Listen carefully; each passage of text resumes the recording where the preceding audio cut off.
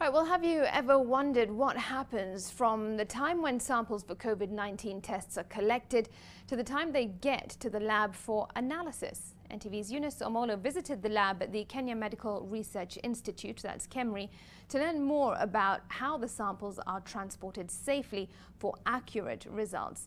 Here's her report.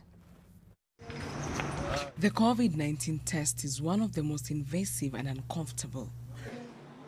Since the virus does not reside in mediums like blood or in any other bodily fluids, there is need to create a medium to transport this highly contagious virus. The, the coronavirus uh, started when it struck to our country.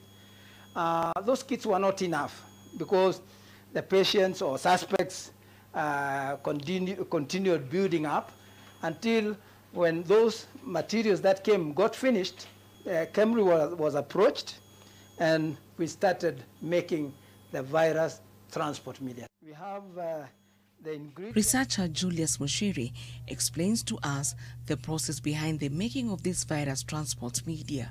The medium comes in powder form, but it has to be mixed with distilled water and other components to turn to liquid. The medium is prepared in a clean environment to avoid contamination of any kind. It is supplemented with a buffer uh, buffers are to give the right pH of the media required. Uh, so we have to make media which will support uh, the environment where uh, this virus is. Sample is not collected from, the st from sterile areas. And for that, this medium has to be supplemented with antibiotics.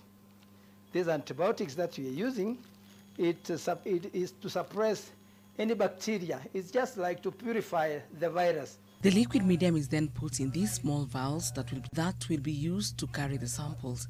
They are then transported to sample collection points.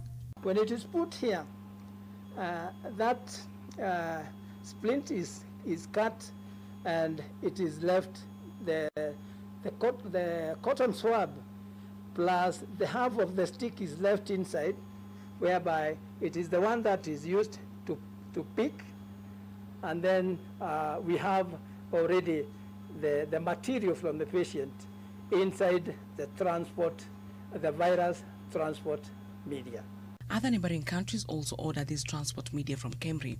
I remember we have sent uh, uh, a batch of about uh, 600 uh, tubes like this one to Somalia because they requested our assistance.